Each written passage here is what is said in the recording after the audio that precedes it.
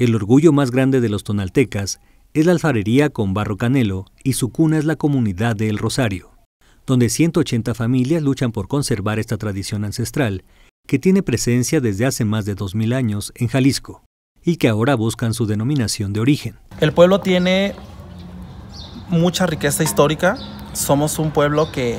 tenemos título de pueblo a partir de la corona española, tenemos un título virreinal y tenemos como bandera de presentación el barro canelo. Hoy en día el tema es que queremos una denominación de origen,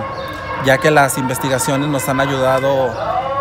a poder demostrar que no hay barro igual eh, de entrada en toda la República y ya hemos buscado en otros países donde también no hemos encontrado otra técnica igual a la de nosotros. El barro canelo o de olor es parte de la cultura tonalteca desde tiempo atrás a la llegada de los españoles y como otras técnicas precolombinas permanece en el tiempo como parte de la identidad del mexicano, sobre todo cuando en cada familia existe un recuerdo con el botellón para el agua, un jarrito o diferentes artesanías para decorar. José Luis Flores Martínez, director de Casa del Artesano de Tonalá, aseguró que el barro canelo únicamente lo da la tierra tonalteca, y es por ello que es muy importante para los alfareros del pueblo El Rosario obtener la denominación de origen de esta técnica que se ha transmitido de generación en generación.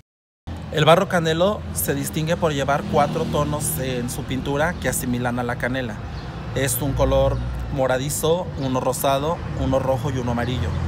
Lo que resalta de esta técnica para propios y extraños es que los cuatro tonos los sacamos de la misma tierra. No usamos diferentes tierras, es una sola tierra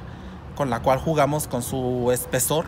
y de ahí sacamos cuatro tonos diferentes de la misma tierra. La característica principal de esta artesanía es que la gente la identifica por el olor y sabor que le da al agua natural.